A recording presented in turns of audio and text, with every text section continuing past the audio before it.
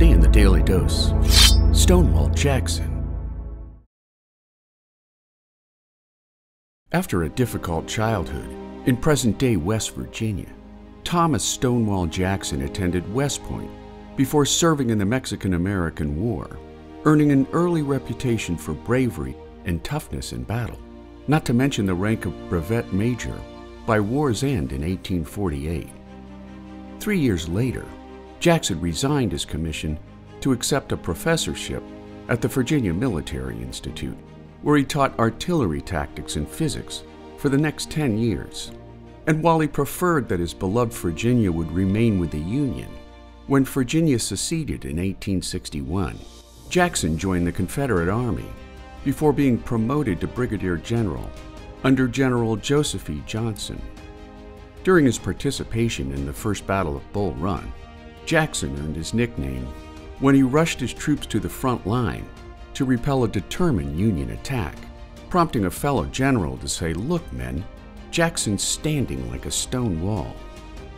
Spearheading the Shenandoah Valley campaign in the spring of 1862, Jackson established himself as a strategic and victorious commander, repeatedly outmaneuvering his 15,000 man army against a superior Union force of more than 60,000, preventing the Union Army from capturing the Confederate capital of Richmond.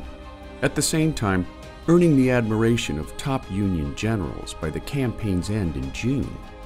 That same month, Jackson joined Robert E. Lee's army, where his highly publicized performance at the Second Battle of Bull Run, the battles of Antietam and Fredericksburg, and the Battle of Chancellorsville elevated Jackson to legendary status among Confederate soldiers and Southern civilians alike.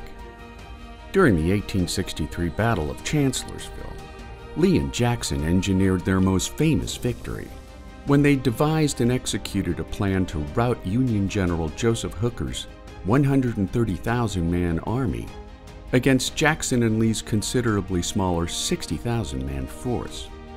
While Lee engaged in diversionary attacks on Hooker's front line, on May the 2nd, Jackson moved his 28,000 man force on a 15 mile hike against Hooker's exposed flank, inflicting massive casualties against the Union Army, which forced Hooker to stand down several days later.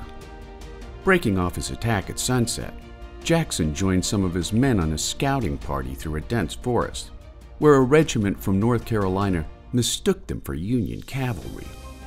Shot through his shoulder, surgeons amputated his left arm, and while Jackson appeared to be recovering at first, he passed away from pneumonia on May 10, 1863, at just 39 years of age, making Stonewall Jackson one of the most impactful generals of the American Civil War. And there you have it Stonewall Jackson, today on the Daily Dose. Get your nerd on with the Daily Dose. And if you enjoyed today's episode, share the link with a friend or colleague so that they too can learn something new every day.